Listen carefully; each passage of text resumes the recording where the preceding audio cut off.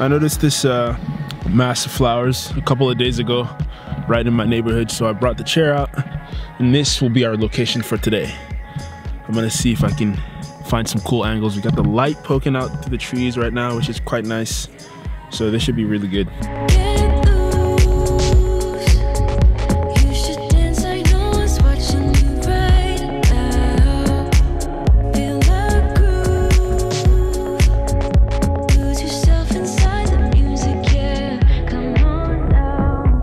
What's up folks? Welcome back to the channel. My name is Karl, I'm a travel photographer and today I'll be sharing with you my exact workflow of how I take self-portraits like this.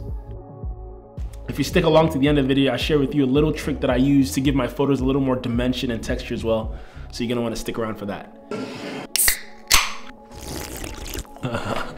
Got a new mic. Right now in Atlanta, it's actually the middle of spring. Almost every single cherry blossom tree is lit up and covered in flowers. So I'm gonna take advantage of the cherry blossoms and the flower blossoms and I'm gonna go outside and try and take a couple of portraits just to get my creative juices flowing. Even before I step outside my door, I'm gonna log onto Pinterest and look for a couple of photo examples so that I can have a photo idea perfectly dialed in. Because I'm not as experienced in front of the camera, I use it to come up with interesting poses to make my photos look more dynamic and interesting.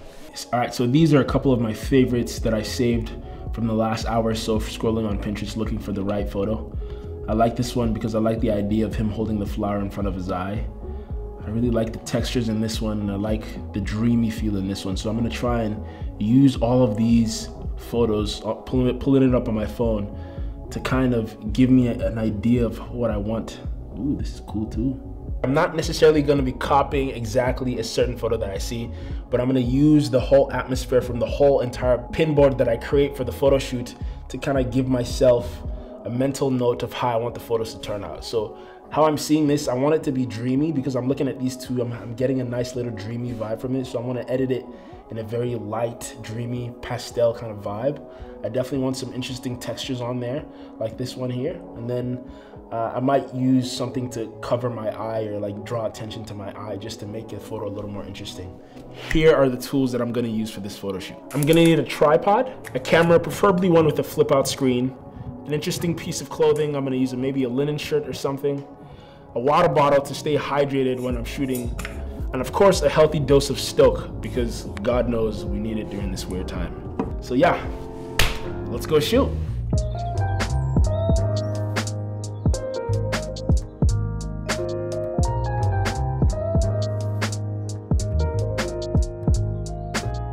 Okay, so made it here bright and early on location, literally in my front yard.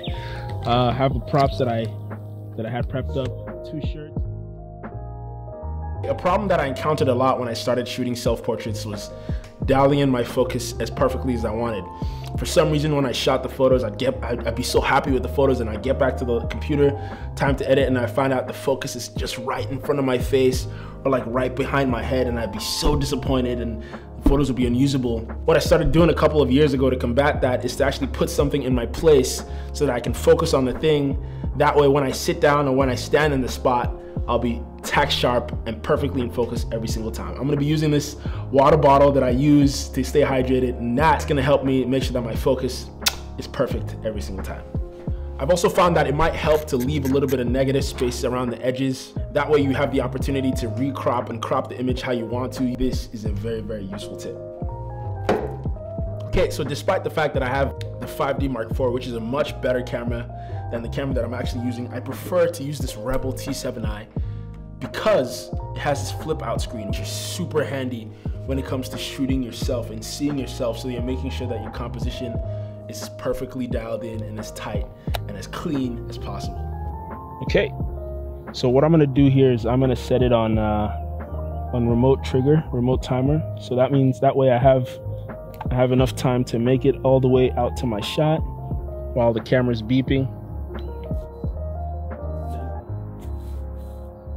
I can look at my composition and uh, work on my poses. Finally, before I leave a location, I like to grab a couple of texture images. That way I'm able to superimpose them on my actual final portraits, which helps to give my portraits more dimension and more texture when I'm editing. Super, super handy tip. I'll show you exactly how I do it, but first, I'm gonna get through this edit and show you exactly what I do. All right, so first off, I'm gonna sift through these images here, looking for a couple of my favorites. I actually ended up shooting around maybe 600 photos, uh, but this is undoubtedly my favorite photo. Look how unimpressed I look. I'm just unimpressed. And then uh, for the edit, I just pasted one of my favorite presets on there. Luckily, I shot a little wider than I needed to shoot. I preferred to have the ability to crop in post rather than be restricted to like a more zoomed in frame. So I, I shot wide and it actually did come in very handy because I, I prefer looking at the photo like like this, landscape like this. All right, the next step is probably to jump into Photoshop and start using the spot removal tool to get rid of a whole bunch of stuff in the image just to clean up the image and make it look a lot cleaner. If you want to see another in-depth tutorial on how I use this content aware fill tool, you just click the annotation right here and it'll take you to a past video that I made that shows you how you can use it.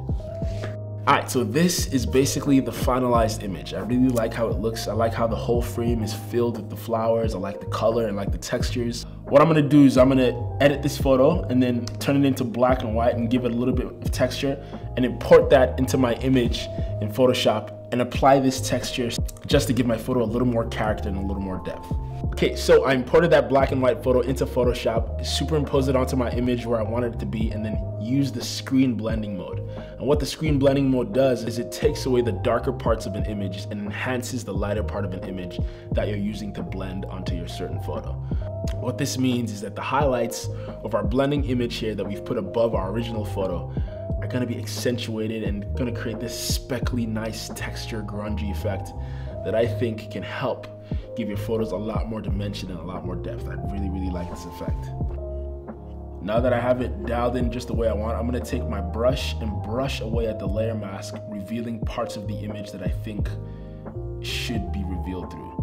Uh, I'm gonna probably adjust the brightness and contrast of that blending layer just a little bit, and maybe even the opacity just to make sure that I have the texture dialed in perfectly before I think I'm completely done. I'm gonna hit the save button, jump back in a Lightroom, probably add a little bit of fade, and this is the final image.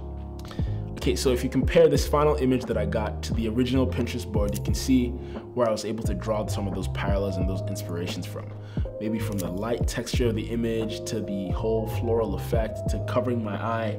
And you can see that I was able to come up with something that was super unique while at the same time maintaining the whole idea that I wanted to maintain.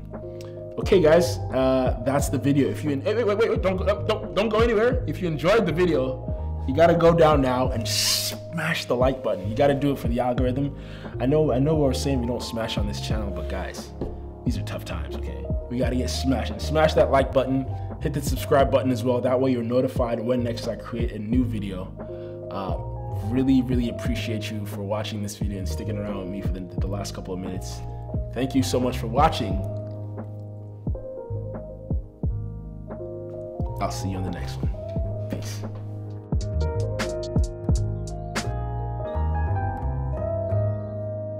you